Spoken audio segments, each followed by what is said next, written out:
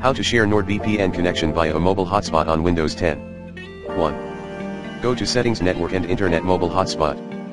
2. Select Wi-Fi and enable mobile hotspot. 3.